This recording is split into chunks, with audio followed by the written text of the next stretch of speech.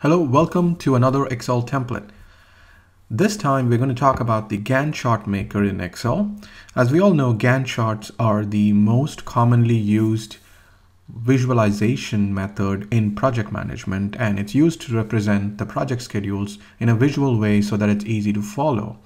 And this template will help you create instant Gantt charts very, very easily in Excel and it will have a lot of options for the user to control which tasks to be displayed, what colors to use, and it's all within Excel uh, without any programming or macros and hence it's very easy for the user to extend if needed and it's also very very very simple and easy to learn and use. So now in this video I will be providing an overview of the features in this template. So now I have the template open and I have filled in with some sample data so that I can illustrate the features of the template.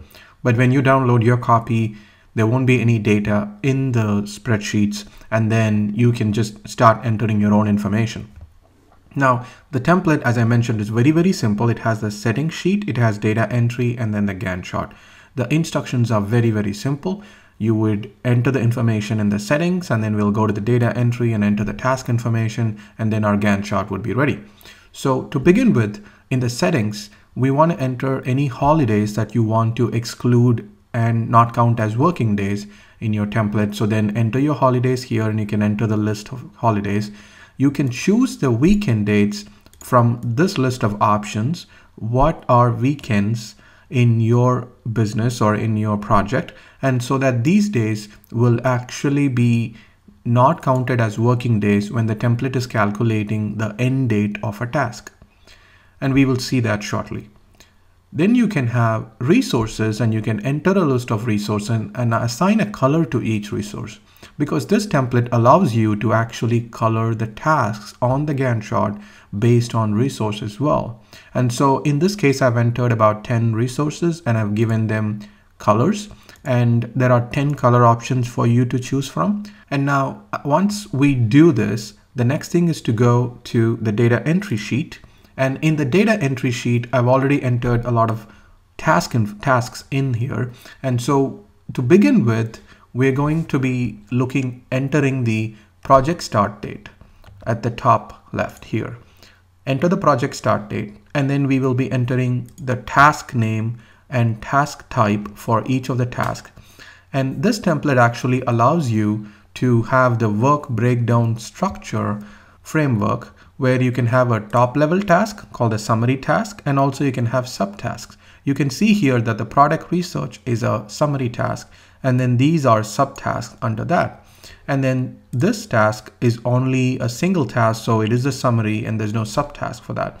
And here again, we have several subtasks. Selecting or creating a summary task or subtask is so simple.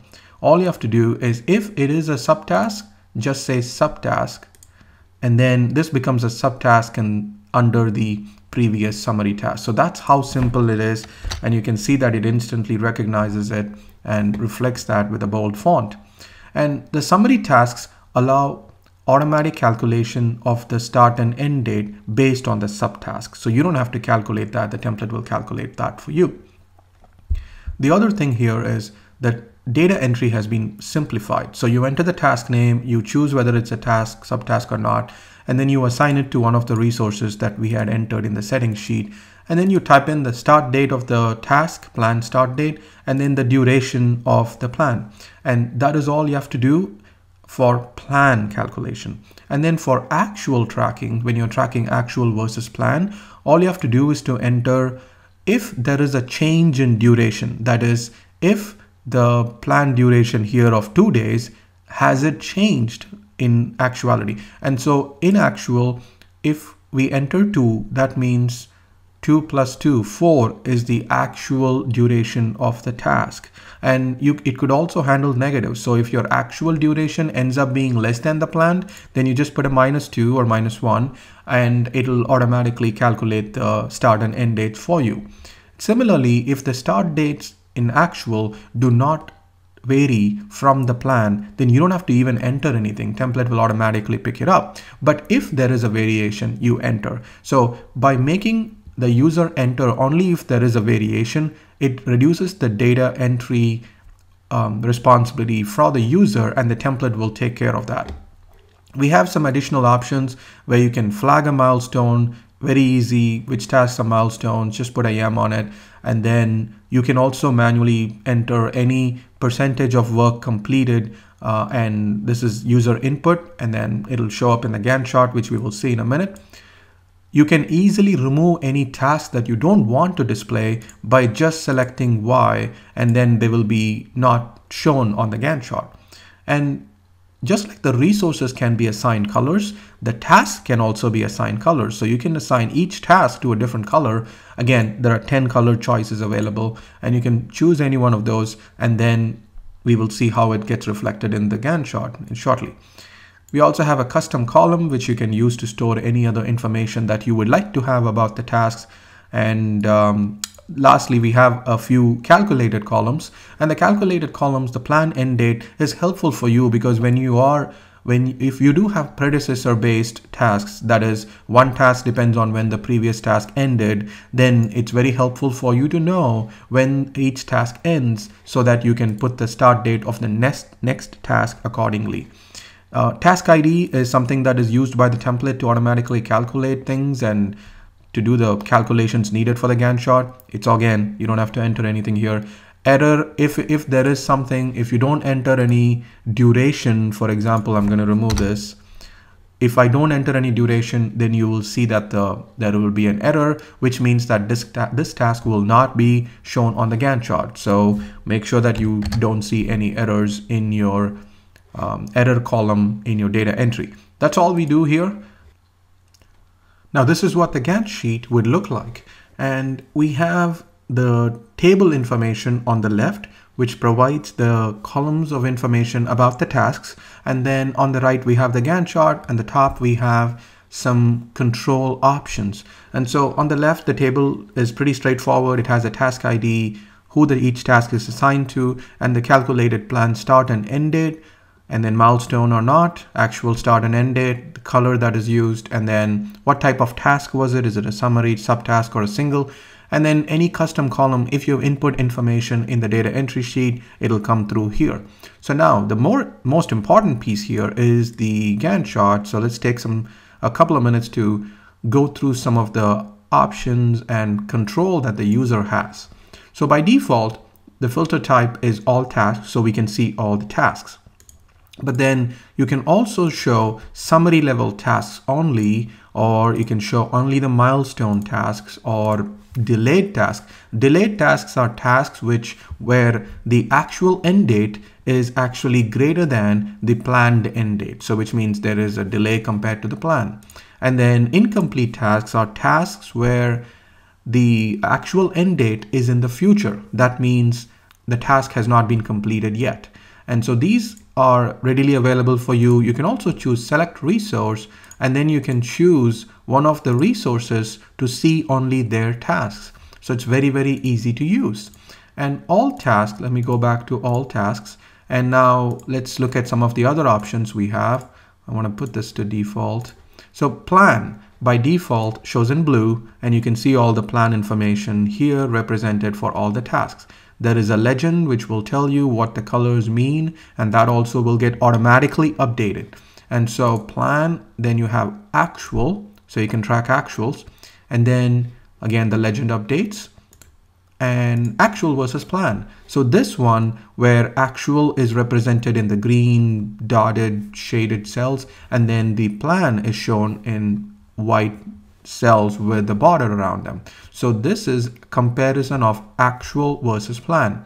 And then current status is representing the actual data, but then it represents in a way that it shows the past versus the future and past meaning, for example, the orange shaded cells, they represent what portion of the task is actually in the past with respect to today and then the future work left to do on the task is shown in white shade and so this is actual past versus actual future and the future and the past are determined by the date the date by default it is today always but you can definitely type in any of your own dates and then that will be used as the reference date in the template.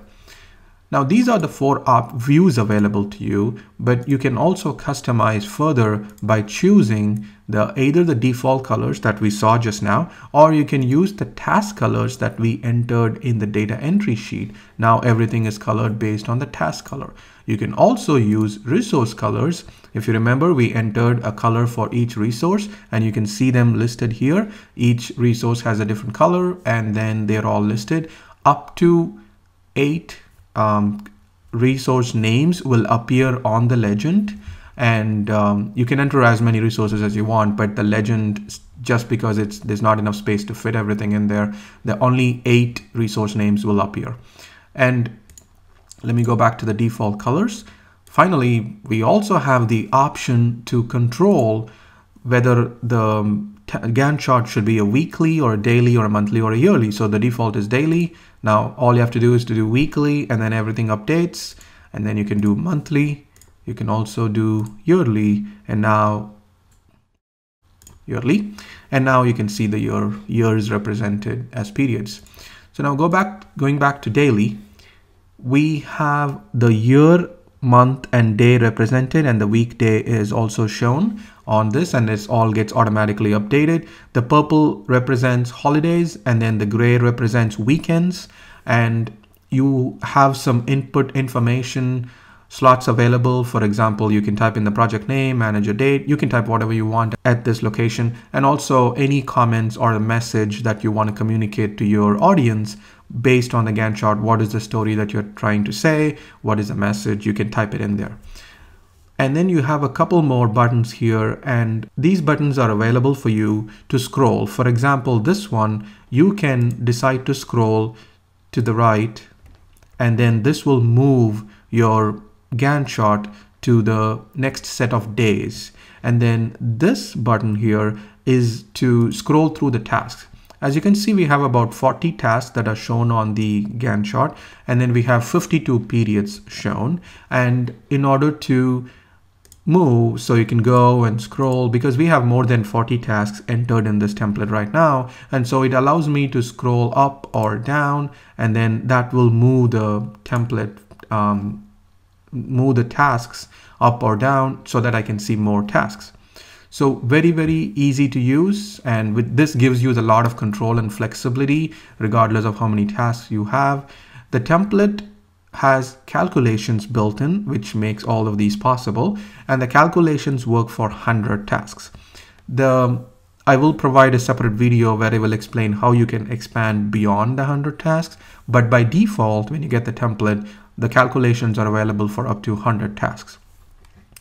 So that is all the template does. And again, the goal is just to create, make it very, very easy to create Gantt charts with a lot of control for the user to make sure that it meets their specific business needs. And again, the same template here allows you to do give you so many different views and so many different options so so that each user's needs are met. As with all of our templates, we look forward to feedback from the users on how to make this template even more applicable to a lot more people. And so I definitely look forward to your feedback. Please post them in the comments and I will definitely make sure that the most commonly requested features are continued to be added in the further versions that will be released. As with all the templates, any customer who purchases a version of the template will definitely receive all future versions, future upgrades with, at no cost. Thank you very much for watching the video.